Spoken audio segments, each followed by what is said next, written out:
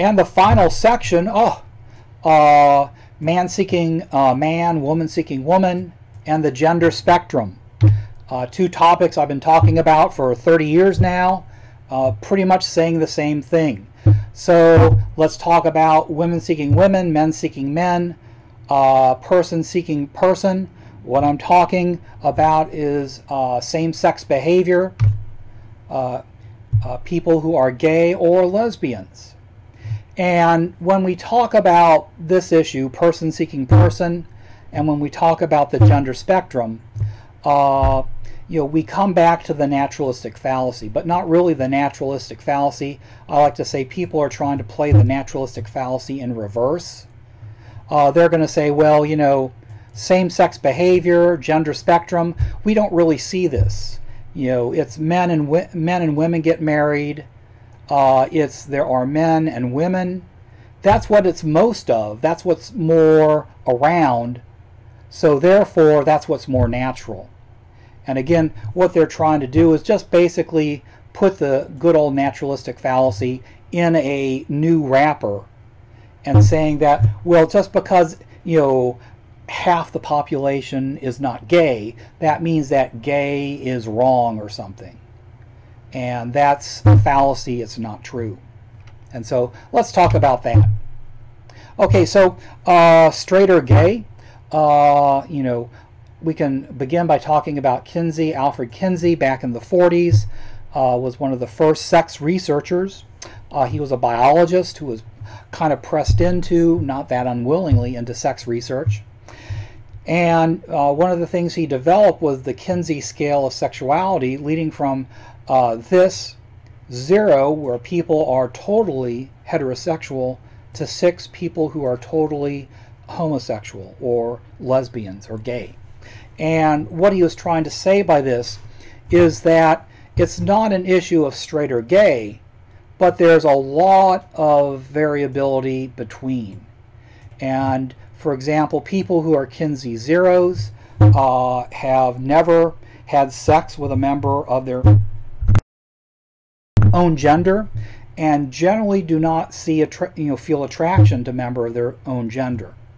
Uh, people with a Kinsey score of one uh, uh, have uh, been exclusively heterosexual, uh, but they may have in their past had a minor uh, you know, sexual relationship with a member of their own gender, leading to three, where people who are bisexual and have attractions and have had relationships with members of their own sex and members of the other sex, uh, to six, people who are exclusively heterosexual have never had sex with a member of the opposite sex and generally don't feel attractive to members of the opposite sex. So his point was that it's not an all or nothing thing. There are degrees, and that's more important to think about. You know, it's more important to think about, uh, you know, being straight or gay not as an either or situation, uh, but degrees. And so let's plug in some numbers to this. Kinsey, back in 1948, uh, said that 37% uh, of the of men he surveyed were not uh, Kinsey zeros. That is, 37% of the men had at least some same-sex experience. A third of all men have had at least one incident of having sex with another man. Uh, this was probably artificially inflated accidentally by Kinsey based on his method. Uh, so we can talk about current trustworthy statistics uh, the National Center for Health Statistics in 2002. Uh, they said that among men, 1.8% say they're bisexual, 2.3% say they're homosexual, 4% say they're something else. So that's about five or six, right, four, five, six, seven, eight, seven or eight percent that says that they are not straight. And among women, it's 2.8% are bisexual, 1.3 are homosexual, and 3.8 something else. Uh, the Janus report in 93, 5% uh, of the men said they were bi bisexual, 4% homosexual, 3% of the women said they're bisexual, 2% homosexual. So this is not a minor thing or a non-existent thing. Uh, a good 8 or 9 or 10% of the population are not exclusively straight. Oh, by the way, um, my uh, title, Straight or Gay, how did I come up with that? Some of you may know. Uh, so one of the arguments about homosexual behavior is that, well, evolutionarily, you know, in terms of evolution, it doesn't make sense. Because if you have sex with a member of your own sex, nobody's getting pregnant, so those genes are not passing on to the future generation. And while that sounds like a good uh, idea, it's specious, it is, it's false. Uh, researchers have been zeroing in on the idea over the last 10 years uh, in terms of research and research results that genes that promote gay sexual behavior in men promote success, uh, successful reproduction in women. What? What that means is uh, the heterosexual sisters of gay men, because they're genetically related, they are sexier to men and more successful with men. So while that gene may be disadvantageous to a gay man, it is advantageous to the heterosexual women who have it. And so that's why the gene still exists, uh, because it is super advantageous for women and mildly disadvantageous to men who have it. And the same is true of lesbians. Uh, the heterosexual brothers of lesbians are more successful with women. Uh, and so generally we see that the thinking is there is this uh, super gene that is so powerful in making you sexually attractive to members of the opposite sex that when it shows up in your brother, uh, it you know you know makes him gay, but that still makes it a very viable gene for everybody to have. Okay, and then things got set on its head when Wendo et al. in 2018 did a very massive and specific study where they were looking at the actual genes that predispose men to uh, gay sex. And the genes that predispose you to gay sex are associated with genes that increase the number of heterosexual partners you have. This occurs across individuals and also in the same individual. That is, a gene that predisposes you to want to have sex with other members of your same sex also is associated with your success in terms of the number of sexual partners of the other sex. So to say it again, gay men, if they have this gene, they're going to be very successful gay men and having lots of partners with other men, but they're also going to have lots of women partners, women sexual partners. And the gene is driving both of these things. And so this illustrates how even to the individual, even within the individual, having uh, these genes that predispose you to gay sex is actually adaptive.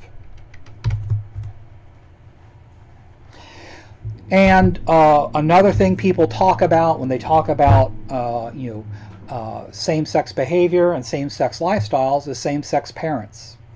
And they say, well, wouldn't that mean that your children are going to be more likely to be a lesbian or gay? No. Research shows conclusively that children raised by same-sex parents, either natural children or adoptive children, are not more likely to be LGBTQ uh, than if they were raised by, uh, you know, uh, non-gay parents. Uh, also, well, children are more likely to suffer from emotional disorders if they're raised by same-sex parents. No, the research shows that is untrue. It's very clear that the number of emotional disorders that children raised by gay parents is the same as the number of emotional disorders of children raised by straight parents. There is one difference. Uh, children uh, raised in uh, you know LGBTQ households are more likely the target of bullying, bullying, which is not the parents' problems or the children's problems, but society's problems. Or society's problem, sorry. And then, uh, so that's it for that. Let's move on to the gender spectrum because we don't have that much time. We need to end the semester. Time's running out. Uh, what I've been teaching for my whole career, this is nothing new. Okay, so we can talk about gender identity. Gender identity is your sense of gender. Uh, it develops around the age of 18 months to two years. Uh, your gender identity is this it's your understanding of what your gender is. Are you a male or a female? Uh, it is also your definition of what gender is. That is, what is a male and what is a female?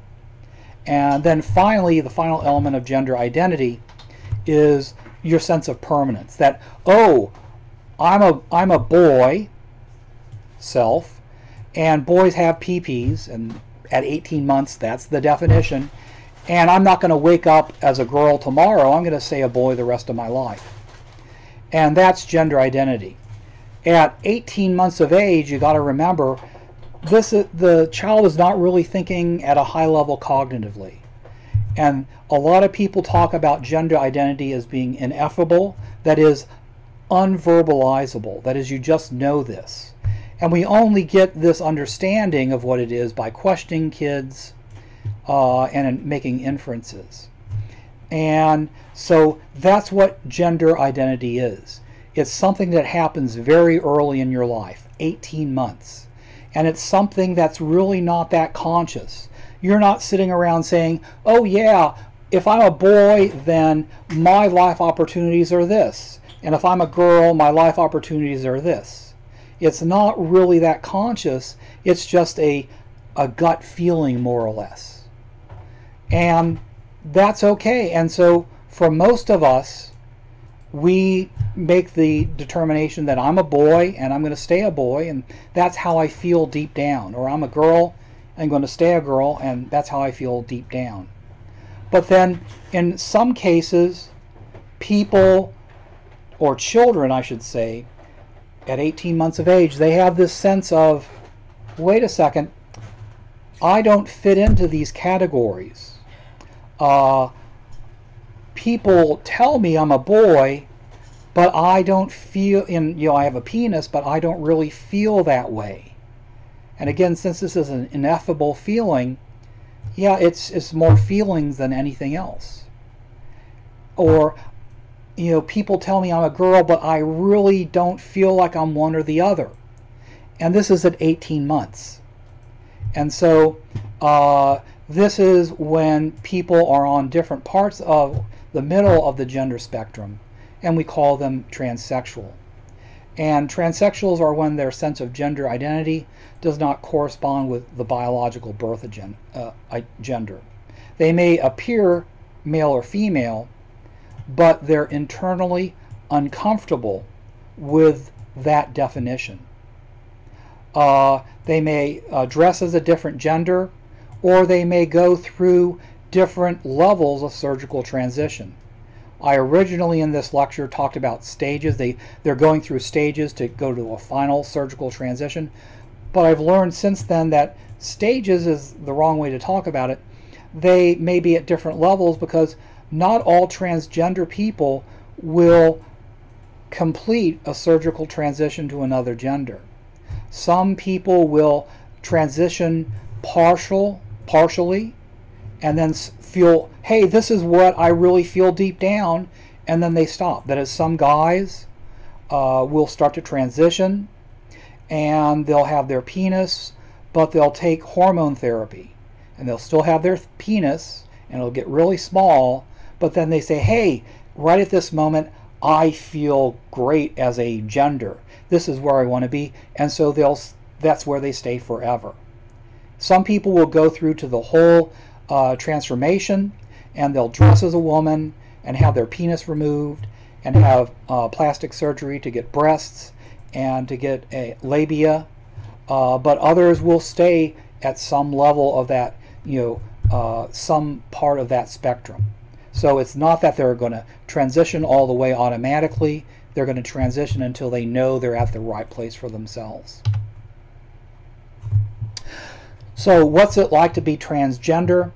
Uh, in America today, it's not that good.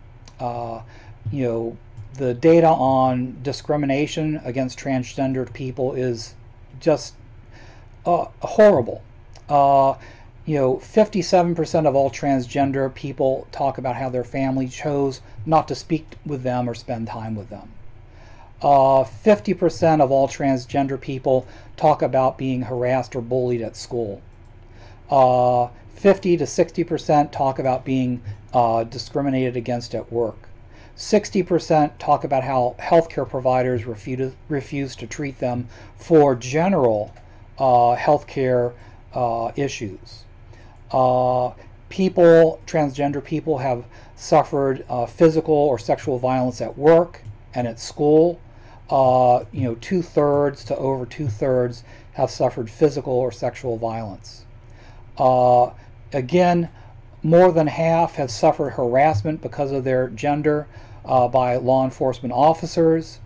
Uh, again, that many or more have suffered physical or sexual violence by law legal officers. Probably because of all these things, 41% uh, of all transgender people said that they have attempted suicide. The normal U.S. or the average U.S. suicide rate is less than 1% of attempting suicide. Uh, so uh, it is a horrible thing. Transgender people are either being killed or killing themselves at an alarming rate. Uh, and it is, you know, almost you could talk about a genocide uh, because of the discrimination our culture uh, holds for transgender people. Uh, you know, and what transgender people need is they need to know that people support them. Uh, a survey of 13 year old to 24 year old, so teenage LGBTQ youth, not just uh, the transsexual, but those who identify as bisexual, gay, lesbians, or queer, uh, that is, having a gender identity that is uh, not the norm. Uh, 30,000 of these were surveyed, and they looked at their uh, attempted suicide rate. Uh, for those who had one accepting adult in their life, the suicide rate was 17, the attempted suicide rate was 17%. Uh, for those who had no accept, accepting adults, uh, it was nearly a third. And so it's very important for adults to accept LGBTQ uh, people. And I want my students to know that I accept you and that I'm at least one that have accepted you and all my life have accepted LGBTQ people. And uh, so let's talk about some of the research about this. And of course, what I'm going to do is tell you any prejudice you have about this is, you know, wrong, like I did with, uh, you know, uh, you know, homosexuality or gay lesbianism and bisexuality. So let's talk about the intersex biology. Uh, this is us. You know, of course, uh, it doesn't look like this. It's all wound up together uh, in a nucleus of a cell, but this is our uh, chromosomes. And there's 23 of them, 22 like this, and then the sex chromosomes. This is XX, so this is a girl. Maybe, maybe not. We'll talk about that in a minute. That is, X, X uh, is uh, female, XY is male, usually. Usually because we can talk about all of the syndromes in which you are not either XX or XY or not phenotypically the same as your genotype. Uh, Klinefelter syndrome, uh, where you have XXY, you have an extra chromosome. Uh, so you have two X's, so you're female, but then you have an XY, you're male. What happens? Uh, these are males, and they are pretty much males, and they have smaller testicles than normal. I believe they are actually fertile, and they can uh, have children. Uh, this occurs 1 in 1,000 births, so it's not that rare at all. Androgen insensitivity syndrome, uh, 1 in 13,000 births. Uh, you're an XY female, uh, that is, your body is insensitive to the hormone that the Y chromosome instructs your body to produce to make it into a male body. And so you, you grow up, your body develops as a female, but you don't have uh, appropriately developed uh, uterus. And you cannot give birth. Partial androgen insensitivity syndrome, uh, XY females with an underdeveloped sexual, uh, secondary sexual organs. So you're a female, uh, you really don't have wide hips or large breasts and other things about your body in terms of like uh, the shading under your eyes are not really that female uh, but you don't have any uh, primary male sexual organs. You don't have a penis. You don't have testes but you're an XY uh, adrenal hypoplasia very common 1 in 66 XX women who can give birth uh, but they have underdeveloped secondary organs. Uh, that is, uh, something is going wrong and they are somehow being exposed as a uh, fetus uh, to androgen, that is male hormone. And so, again, underdeveloped sexual, you know, sexual organs, secondary organs, they're not that womanly in terms of how they look, uh, but they can give birth. And then one of the more recent uh, things discovered, the SRY gene.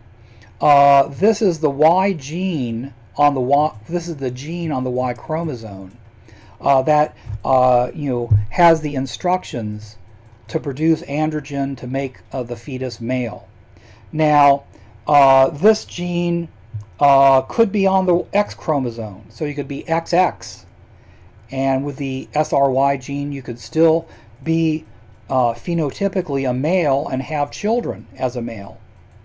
Uh, or it could be on the Y gene and turned off or on. It doesn't, you know, it really pops around like that. The thing is, you could be an XX, and what does that mean? You're, you're a woman, or maybe not, because you could be XX and you could have the SRY gene on one of your X chromosomes and you could be a male right now. And you could have had a child. And if we do a genetic test on you hey this says that you're a woman. Ooh whoa. Uh, some you know biologists you know when they teach about this in lab courses you, know, you say well do you have people like uh, do the SRI test on themselves? And the professors say no way man because what we don't what i'm unable to do because i'm a biologist not a psychologist is deal with the aftermath of somebody learning that they lived all their lives as a woman and now they discover that their genes are xy uh, some orange person has said that they want to uh, you know make it a law so that uh, whatever uh, gender is on your birth certificate has to be and on your driver's license and whatever uh, you know gender that you live your life by has to be uh, based on a genetic test. Well, if we do that, a whole lot of people who think they're males are going to be XX, and a whole lot of people who think they're females are going to be XY. Okay, so as I said before, you know, what if you really are a guy and you're XX.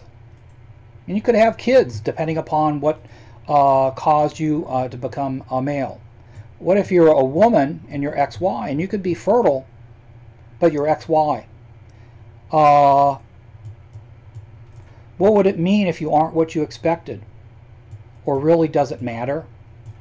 And so when some orange person talks about we need to talk about a person's gender based on uh, you know, the results of a genetic test, you start to see how little sense that makes. Uh, so that's really not that important. Oh, and that's the end of uh, our lecture, the end of our semester. Uh, a meme I, I just really love because this has been my whole professional life. Can't tell if it's feminist trash or academic social psychology doctrine. People, uh, the things I've been teaching for 40 years, uh, people call it now feminist trash, but it's really not. This is what social psychologists have known for a long time. All right, uh, enjoyed class. I'll see you in the synchronous section. Bye-bye.